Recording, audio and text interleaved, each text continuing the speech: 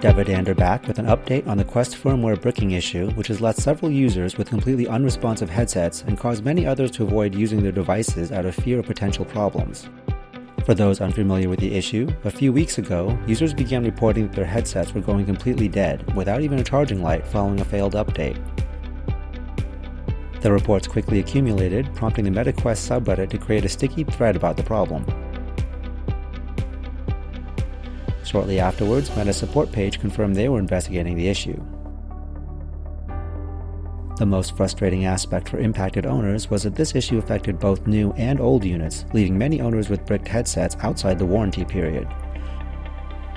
Calls to Meta support resulted in an offer to send in the broken headset and purchase a refurbished unit at a discounted price, a solution that understandably upset owners and likely created unnecessary negative PR for Meta around this already unfortunate situation.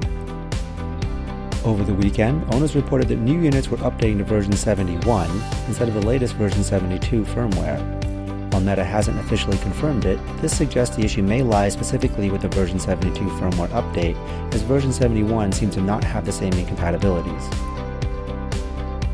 Although the exact cause remains unknown, a reasonable theory is that version 72 wasn't compatible with certain older firmware versions.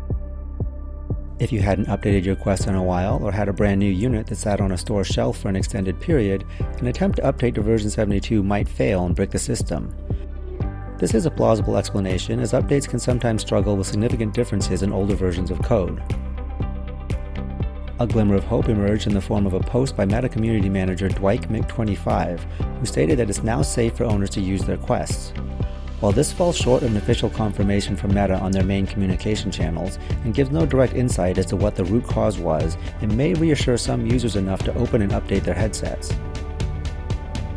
Additionally, a Reddit user, Dracolusness, shared a response from Meta support explicitly stating units affected by the software bug would be replaced free of charge. While Meta support agents are known for occasionally providing inconsistent information, the specificity of this reply gives some hope that this could indeed be the policy, assuming no software solution is found. As of now, we still lack an official statement from Meta confirming it's safe to use the headsets again.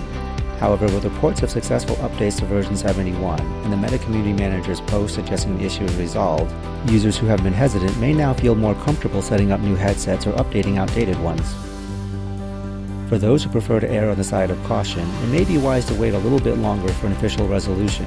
If you're currently using a headset, it's still a good idea to keep automatic updates turned off for now, as no new software version has been reported, so there's nothing to miss by having updates turned off. If you're unsure how to do this, I've linked a guide in the video description below.